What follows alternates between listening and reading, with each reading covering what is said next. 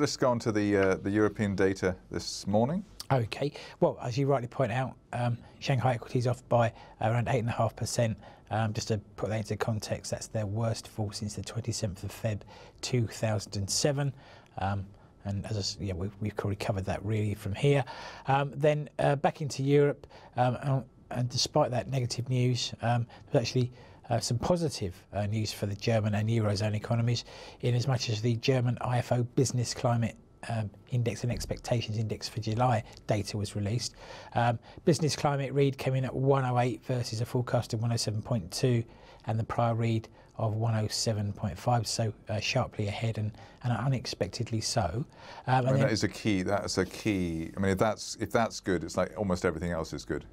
Uh, well, that would that's that's the read the people are taking away from that. And the expectations going forward, um, 102.4 versus 108.1 or sorry, 101.8 that was forecast, and the prior read of 102.1. So ahead of the forecast and ahead of the prior read. I suppose the only question here is how much of of that improvement is um, a relief rally on Greece, uh, and will we still have uh, a similarly positive read in a month's time? But nonetheless, it's been it's been taken as a positive uh, for Germany.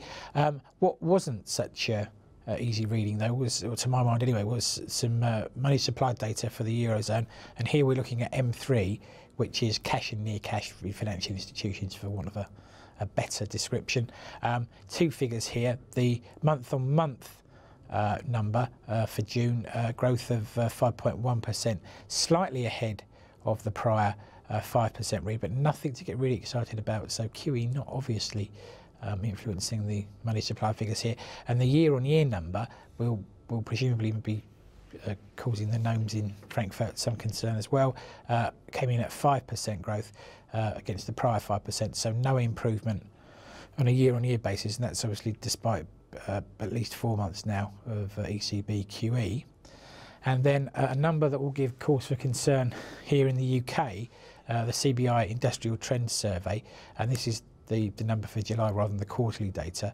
Um, this is a number that looks at sort of factory orders and, and business confidence going forward. Uh, a, a, read of minus 10 versus the prior read of minus 7. Um, today's number is the lowest since July 13, and although the quarterly numbers, uh, well, they've tried to spin them to, to be positive, that very low factory orders in July, which is what is basically telling us and expectations of low numbers going forward, don't bode well for a sort of a continued solid rebound for the UK. There goes our interest rate hike. well, well, I mean, you know, I don't think Mr. Carney rely entirely on this survey, but it just shows that there is, you know, there's, there's still contradictory forces at work in, in the UK economy as well. So there we are.